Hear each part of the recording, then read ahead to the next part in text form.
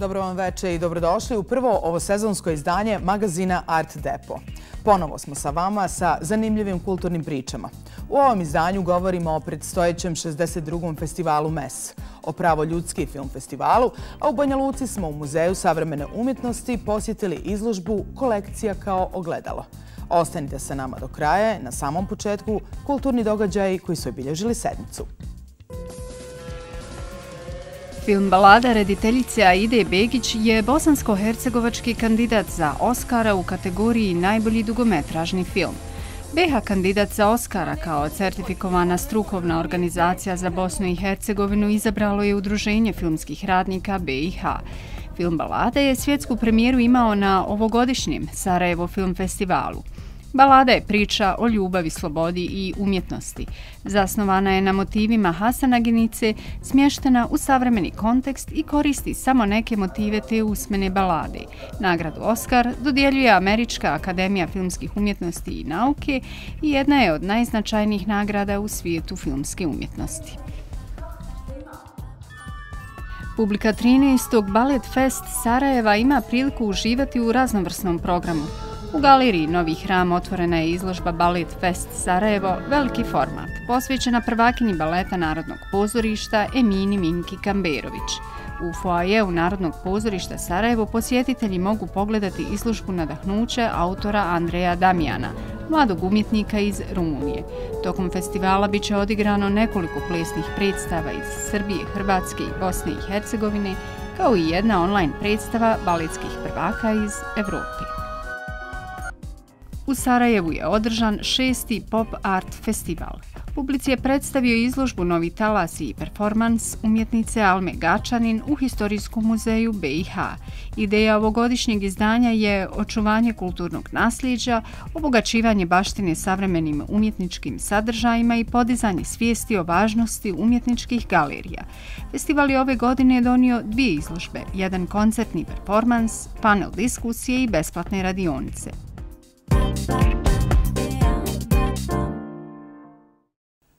U nastavku govorimo o internacionalnom teatarskom festivalu MES koji počinje 30. septembra. Gost Art Depoa je Nihat Krševljaković kojem želim dobrodošlicu. Hvala na pozivu.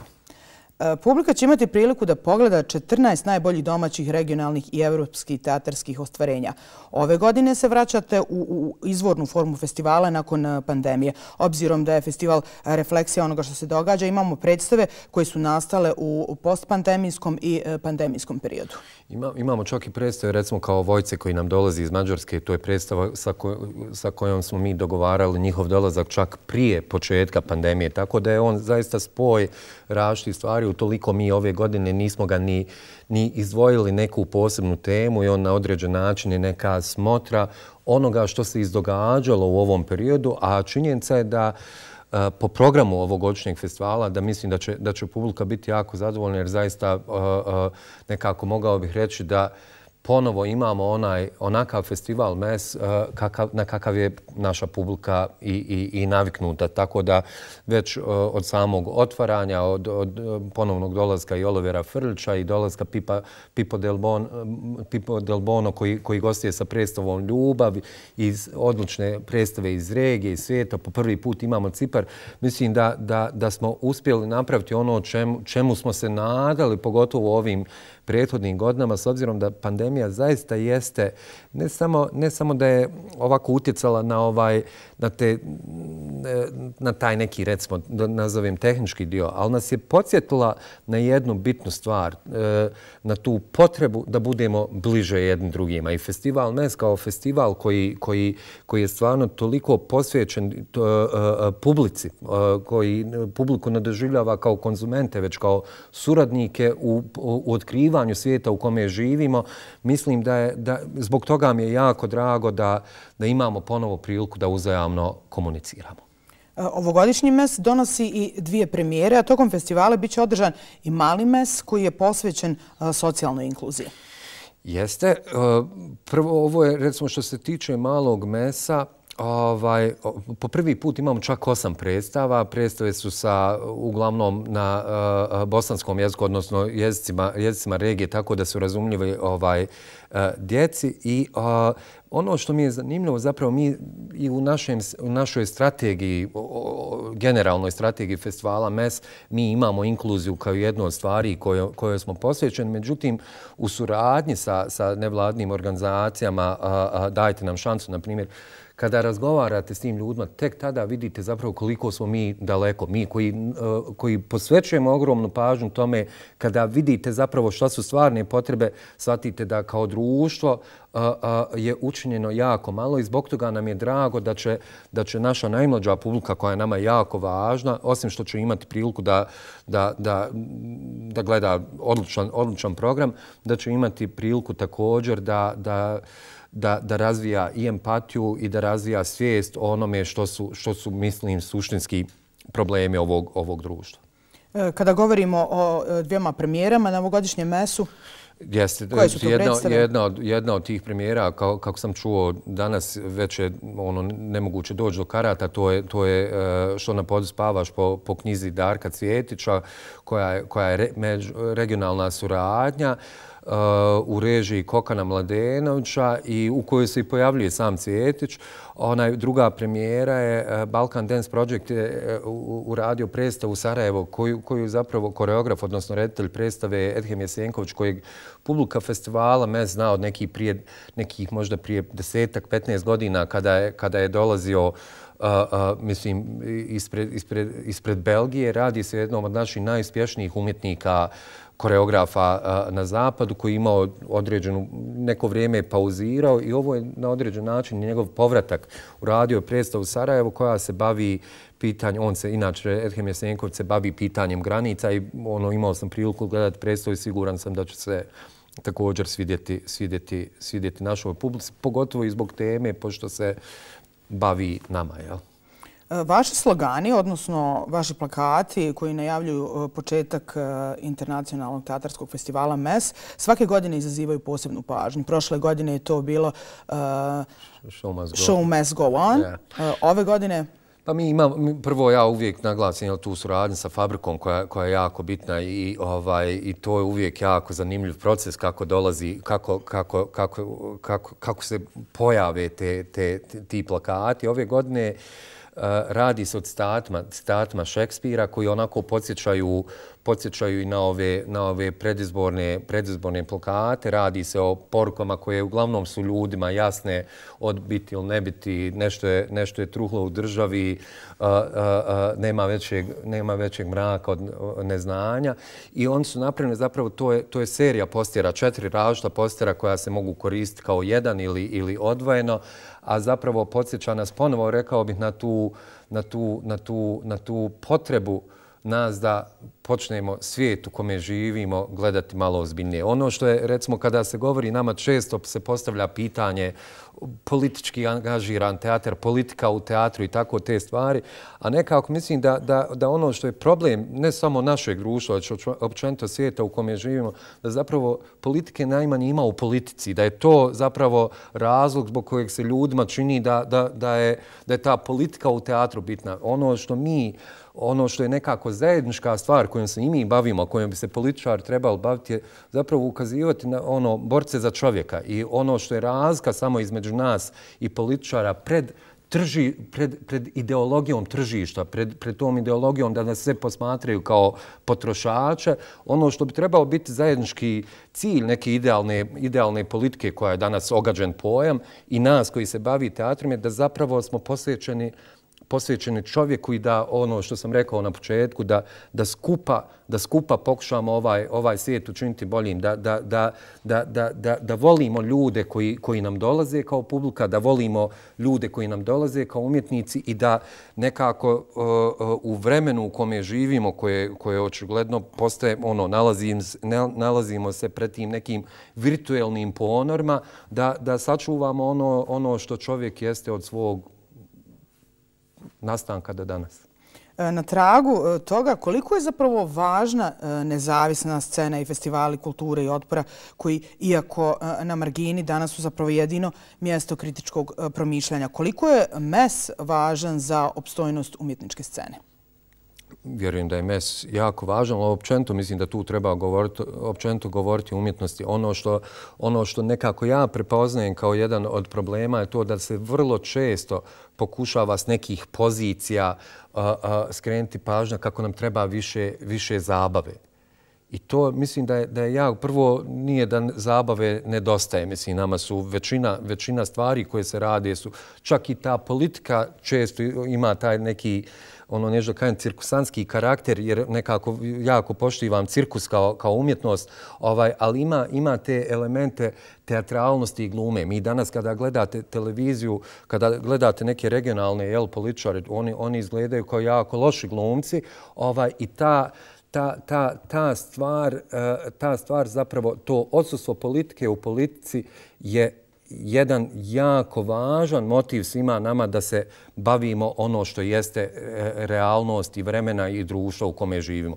U tom smislu, apsolutno je važno i nestanak, kako je moguće, jel, nestanak umjetnosti, odnosno moguće, jer, jer, jer vi imate historijski primjere kada, kada zavladaju te ekstremno desničarske ideologije, kao što je fašizam i to, a to, nažalost, vidimo da nismo, nismo daleko od toga, vidimo šta se, šta se dogodilo a, a, a, sa, u slučaju agresije na Ukrajinu, da to je realna opasnost. Mi tu opasnost gledamo od 90. godina i mislim da je zbog toga važno važno da svaki pojedinac ovog društva ima osvješenu bitnost slobode i bitnost, bitnost ide, e, ideje slobode u kojoj naša sloboda biva ograničena ugrožavanjem neke, neke druge osobe, neke druge ideje ili bilo čega.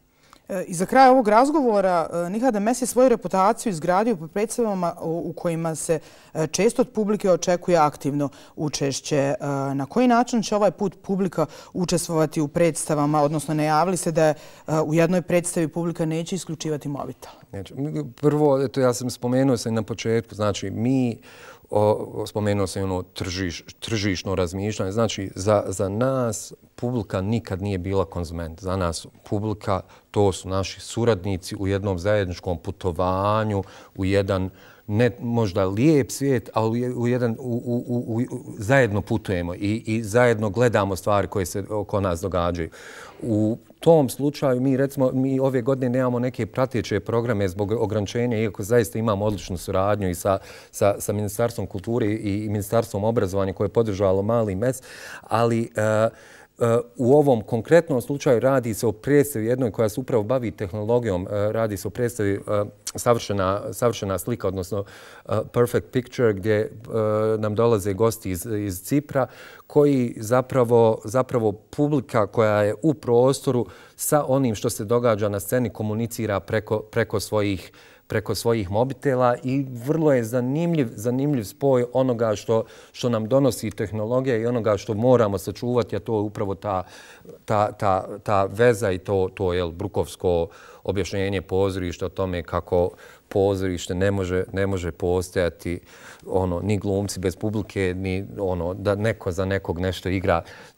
Ta interakcija je ono što je, što je, što je jako bitno u toj predstavi, ali kroz te neka, neka nova tehnološka, tehnološke, tehnološka dostignuća koja, koja je danas dio našeg života.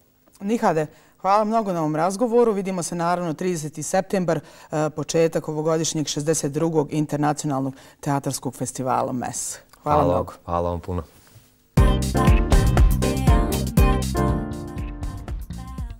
Muzej savremene umjetnosti Republike Srpske i Galerija Matice Srpske iz Novog Sada predstavili su u Banjalučkoj publici izložbu kolekcija kao ogledalo. Modernizam u dijelima iz Galerije Matice Srpske.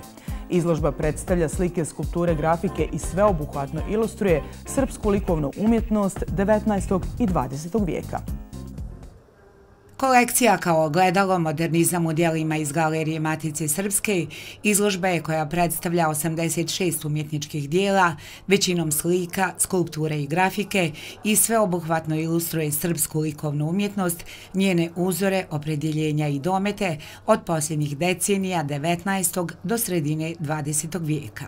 Kroz dijela 38 autora prikazan je put od realističnih opredjeljenja nastalih pod uticajem Akademija u Beču i Minhenu do okretanja modernizmu 20. vijeka. Ova izložba obuhvata umetnike, ne one samo najpoznatije e, umetnike modernizma, kao što su Sava Šumanović, Milan Konjović, Petar Dobrović, Bogdan Šuput, već i umetnike koji su stvarili nešto malo pre modernizma, kao što su veliki slikari Paja Jovanović, Uroš Predić, Steva Aleksić, e, Đorđe Krstić, Đoka Jovanović, dakle umetnici koji su napravili, da kažemo, taj most između, da kažemo, starije epohe i moderne umetnosti, e, E, koji su uveli ideje e, e, realizma, akademizma i simbolizma.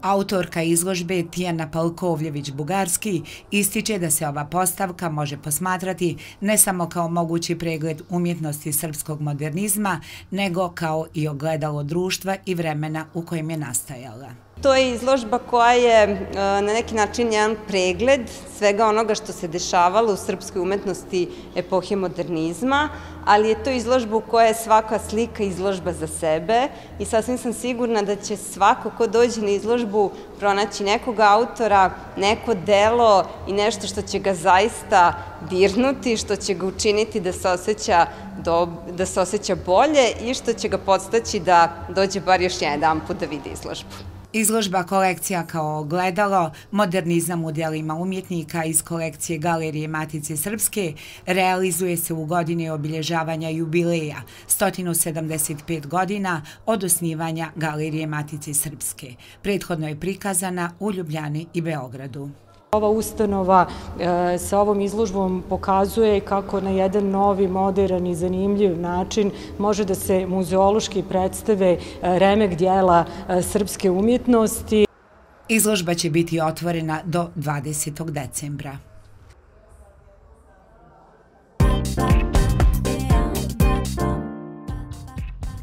Završen je 17. pravoljudski film festival. U četiri programa prikazano je 25 dokumentarnih filmova, a festival je ponudio i izložbu te niz razgovora sa gostima. Fokus je bio na temama koje se tiču migracija, preživljavanja, političkog djelovanja i odnosa ljudi prema okolini. Bez govora, bez pozornica i bez ceremonija, jer u fokusu treba da budu samo filmovi. 17. pravoljudski film festival zatvoren je na isti način kao što je i otvoren u Kino Meeting Point u Sarajevu. Film zatvaranja Suhotlogori iz Brazila, koji je visoko ocijenjen na festivalima ove godine, je doku fikcija i portret života grupe žena na marginama društva u oči izbora u Brazilu. Napravili smo jedan iskorak i rekli, ok, septembar je vjerovatno mnogo dostojanstvenije rešenje, jer e, naravno film je jako važan prostor i politički, međutim, bilo bi cinično pozivati bilo koga u decembru i u januaru. E, očekujemo zaista tešku zimu. Sretno nam bilo. Veoma sam sretna jer je ovo jedan od za mene najznačajnijih festivala filmskih koji se dešavaju u ovom gradu svake godine, zato što govori o jednoj temi, fokusira se na teme koje su meni bitne, a to su teme vezane za ljudska prava, eh, obrađuje teme eh, bliske feminizmu, eh, bavi se ekologijom i sličnim srodnim, srodnim granama. I zato je meni bila velika čast kada me Kumjana, Kumjana Novakova pozvala da radim ove godine u njihovom timu za odnose sa javnošću. I mislim da je ovo što sam vidjela ove godine, ovi filmovi koje sam gledala ove godine su zaista i me učinili vrlo zadovoljnim jer sam vidjela neke od vrhunskih filmova. Festival je donio niz noviteta u odnosu na prethodna izdanja, a jedno od njih je i promjena datuma održavanja u septembru umjesto u novembru. Razlog je što u novembru počinje opasno zagađenje grada, a postoji i strepnja kakva će biti predstojeća grijna sezona. Ovogodišnje izdanje bilo je filmsko iskustvo koje korespondira sa svijetom na koji smo kao društvo navikli posljednjih godina. Život u lockdownu između zatvorenih granica, ekonomska kriza, ratovi, mizoginija i stalno prisutni patrijarhat doveli su nas do toga da svoje potrebe svedemo na minimum. Živimo udaljeni jedni od drugih i komuniciramo preko ekrana, izolirani strahovima, maskama, žicama i zidovima. Stoga se ovogodišnje festivalsko izdanje saželo na manje programa i filmova fokusiranih na samu suštinu i kritična pitanja trenutka u kojem se nalazimo. Fokus je ove godine specifično na, na, na, mnogo, na, na mnogo zvučju, na, na različitim glasovima, na različitim vrstama izražavanja i filmova. Ovaj, e, koji su u našem programskom, ali i političkom vjerovanju jedini način da se pronađe ovaj da se pronađu rješenja na probleme i na ovaj na pitanja sa kojima se svi suočavamo ovaj u današnjem svijetu ovaj i više od svega da su ovaj nešto što će nas voditi u budućnost a to je ovaj svatanje filmske umjetnosti, svatanje političkog rada, svatanje festivalskog, ovaj, angažovanog rada kao nečemu što će nas, ovaj, što nas drži u solidarnosti, što će nas izvesti na svjetliji put u svijetu. Dva filma od izuzetne važnosti u kontekstu onoga što mori bosansko-hercegovačko društvo bila su popraćena obsežnijim javnim razgovorima. Prvi se odnosi na trilogiju kratkih filmova autorice iz Slovenije Nike Autor, koji se direktno bavi takozvanom balkanskom migracijskom rutom i ljudima koji su prisiljeni da je pređu. Nasilje, čiji smo svjedoci, nevjerovatno je, ali se o tome u javnom prostoru gotovo da i ne govori. Kada sam došla u Sloveniju, upoznala sam ljude koji su se borili za prava ljudi koji su nakon raspada Jugoslavije ostavljeni na marginama društva. Nika, autor, mi je jako dobra prijateljica. Zajedno smo se borili za prava bosanskih radnika u Sloveniji. Organizirali smo pokret koji se zvao Nevidljivi radnici svijeta i borili smo se za bolje uvjete rada radnika. Bilo ih je oko stotinu tisuća. I Nika je tada uradila izvrstan film o njihovoj borbi. Nika je također aktivistkinja i uvijek odabere raditi na temama koji su izuzetno važne. Ima tu snagu da svojim filmom učini vidljivijim one teme i situacije koje su zataškivane ili skrivene od očiju javnosti. Ja lično s ovim poslom bavim već 8 godina, znači još od pre početka te takozvane izbjegličke krize, koja je, da kažemo, počela 2015. odnosno 2015. je tek dospela u medije, ali migracije preko Balkana traju mnogo duže. Um, trenutno je situacija takva da, iako u medijima se nekako predstavlja kao da je ta balkanska izbjeglička ruta zatvorena još pre pet godina i da izbjeglice nema, uh, situacija je potpuno drugačija. Mi beležimo sve veći i veći broj ljudi. Uh, E, nažalost, situacija je vrlo slična u Srbiji i u Bosni i Hercegovini, gde ljudi zapravo nema adekvatnog državnog odgovora i državne institucije ne rade e, svoj deo posla, ne pružaju zaštitu ovim ljudima, već se tretiraju kao ilegalni migranti, kao neko ko samo tranzitira i prolazi e, i na taj način državne vlasti peru ruke od bilo kakvih obave za pružanje međunarodne zaštite ovim ljudima. Pa svakako da, da su ovakvi načini razgovaranja o ovoj temi izuzetno bitni, posebno zato što u medijima je generalno jako sužen sada prostor za razgovor o ovoj temi. Migracije su nekako skrenute, ljudi više nisu u centru Sarajeva, u centru Beograda, u centru velikih gradova gde su prosto vidljivi lokalnom stanovništvu, već je to izmešteno u manje gradove, u šume, tako da lokalno stanovništvo vrlo često ni nema predstavu zapravo kolika humanitarna katastrofa se dešava na, na ovim prostorima. Tako da su ovakvi razgovori izuzetno važni. Drugi javni razgovor bio je fokusiran na pitanja rodnih politika, politika seksualnosti, ali i odnosa između različitih prostora javnih djelovanja u kontekstu roda i seksualnosti i upriličen je nakon projekcije filma Mucenbacher, austrijske autorici. To je jedan film koji kada ga gledate, ne samo iz pozicije selektora, nego i iz pozicije publike, naročito iz pozicije žene ili ne cis muškarca, ovaj, imate potrebu da pričate s nekim, tako je slučaj sa većinom filmova na pravo ljudski. Festival koji je posvećen kreativnom, dokumentarnom i eksperimentalnom filmu istražuje sve moguće i nemoguće forme, prakse i dijeljene prostore filma i audiovizualne umjetnosti. Pored kinosala, festival ulazi i u pozorišta, biblioteke, umjetničke galerije, male gradove i sela, planine i parkove u Sarajevu i širom zemlje na svojim putovanjima nakon festivala. Izložba Vasist Kunst Bosnija and Hercegovina, heroji 1941-1945 umjetničke grupe iz Slovenije Irvin, otvorena je u Historijskom muzeju Bosne i Hercegovine. Izložba je zajednički projekat Historijskog muzeja BiH, Muzeja savremene umjetnosti Republike Srpske i grupe Irvin. Saradnja Historijskog muzeja Bosne i Hercegovine, Muzeja savremene umjetnosti iz Banja Luke i grupe Irvin je počela 2018. godine kada je izložba otvorena u Muzeju savremene umjetnosti u Banja Luci. Nakon gostovanja u galeriji Božidar Jakac u Kostanjevici na Krki u Sloveniji i Maksi muzeju u Rimu, izložba je stigla u Historijski muzej Bosne i Hercegovine koji je i vlasnik kolekcije portreta narodnih heroja i heroina drugog svjetskog rata. Napravljen je lijepi krug jer su narodni heroji iz kolekcije Historijskog muzeja Bosne i Hercegovine e, sada zapravo na svom pravom mjestu u jednom lijepom reprezentativnom izdanju. Ono što je nama važno je da zapravo evo, događaj koji predstavljamo je jedan vrhunski događaj za e, kulturni život u Sarajevu i Historijski muzej Bosne i Hercegovine se kao svih ovih godina trudi da vam ponudi upravo takav jedan sadržaj. E, vrhunskog događaja, sa, umjetnosti, e, jedne svjetske relevantne družine iz Slovenije, umjetničke grupe, a ovaj put, ono što je nama posebno važno, da može Historijski muzej Bosne i Hercegovine predstaviti svoj fundus, dakle da je izložba sačnjena od fundusa Historijskog muzeja Bosne i Hercegovine. I to je ono što je zapravo možda ključna rečenca i ključna misao u ovom e, što Historijski muzej Bosne i Hercegovine radi. U svom karakterističnom maniru grupa Irvin koristeći već postojeće portrete koje inkorporiraju masivne ramove, unikatno izrađene za svaki portret, daju novo značenje koje otvara mogućnosti za novu vrstu interpretacije i pogleda na nasljeđe iz doba socijalizma.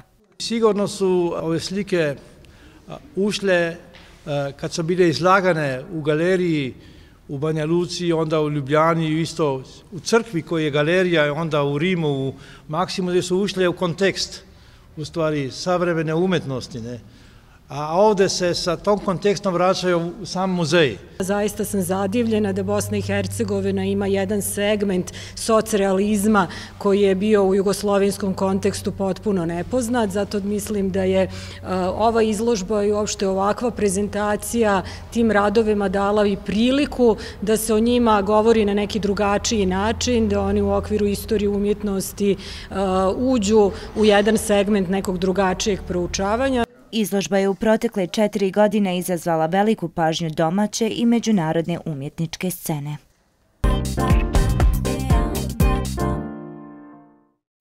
I došli smo do kraja. Bilo je ovo sve što vam je ekipa magazina Art Depo pripremila za ovo izdanje. Vidimo se naredne subote. Lijep pozdrav!